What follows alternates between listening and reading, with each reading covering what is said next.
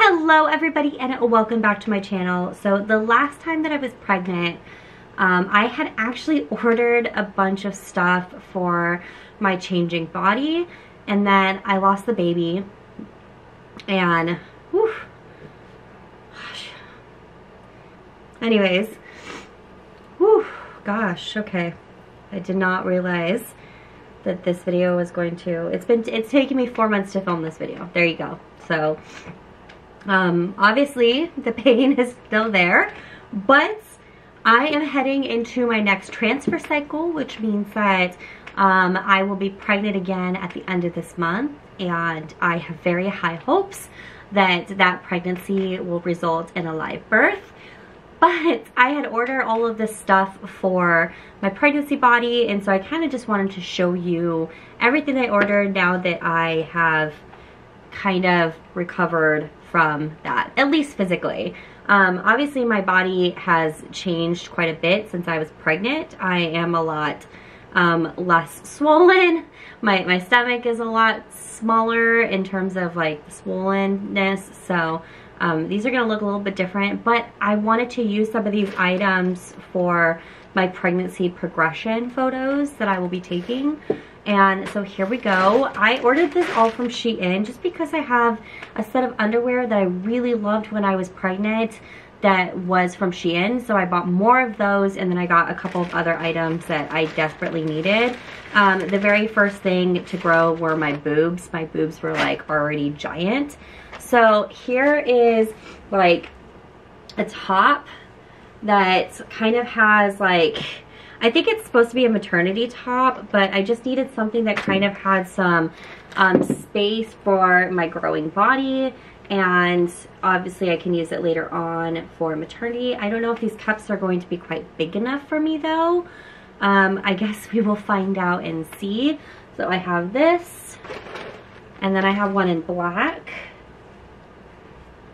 and then I grabbed some more of the underwear that I really, really loved. Um, these are by far my favorite maternity underwear, and they are not going to look cute. Um, they're not going to look cute at all, but for me, they were super, super comfortable, so I picked them up. So here you are.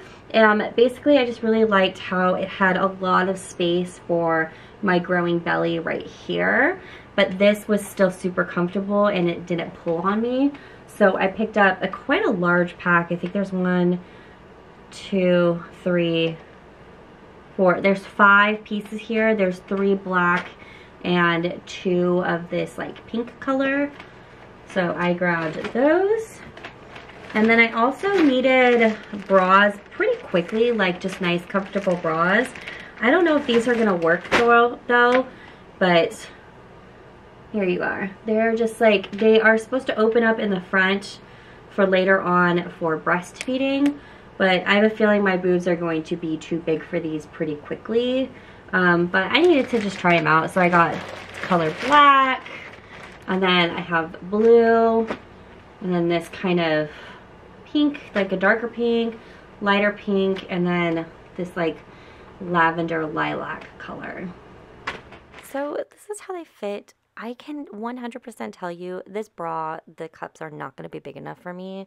Um, my boobs, just like normal, barely fit in it, let alone my pregnancy boobs will never fit in it. And the undies are not hot. So as my pregnancy progresses, hopefully, um, I will kind of do like, you know, you'll probably see these more often. I'll probably do like a six month update or whatever um, where I'll, I'll show you guys how these are fitting kind of later on throughout my pregnancy. Um, but I just, I needed to open them and wash them and put them in my closet. So figured I might as well show you now. There you go, you guys. Thank you so much for watching this video. Do not forget to like this video. Do not forget to subscribe to my channel. And follow me on social media. All my links are down in the description box as well as links to these items.